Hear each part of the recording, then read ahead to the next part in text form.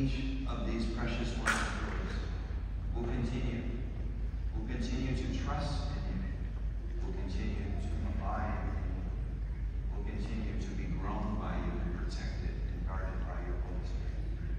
May your blessings be upon them as they continue their educational journey and their life's journey. We pray this in the precious name of Jesus Christ, your Son, our Lord, who lives and reigns with you in the unity of Spirit, God, forever and ever. Amen.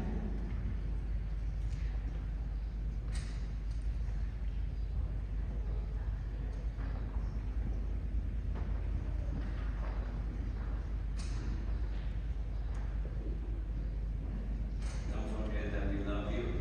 Let us give them a round of applause.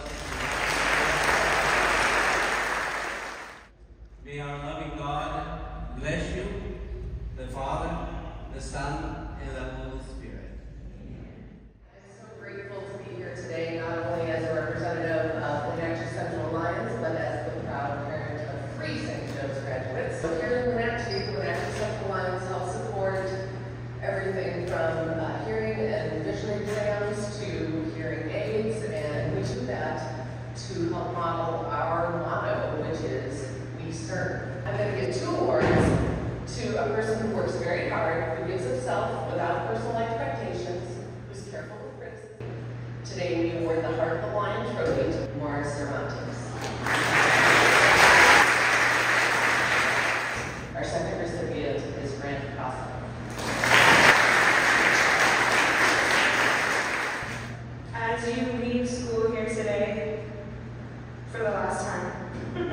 As a student at St. Joe's, be strong and courageous. God is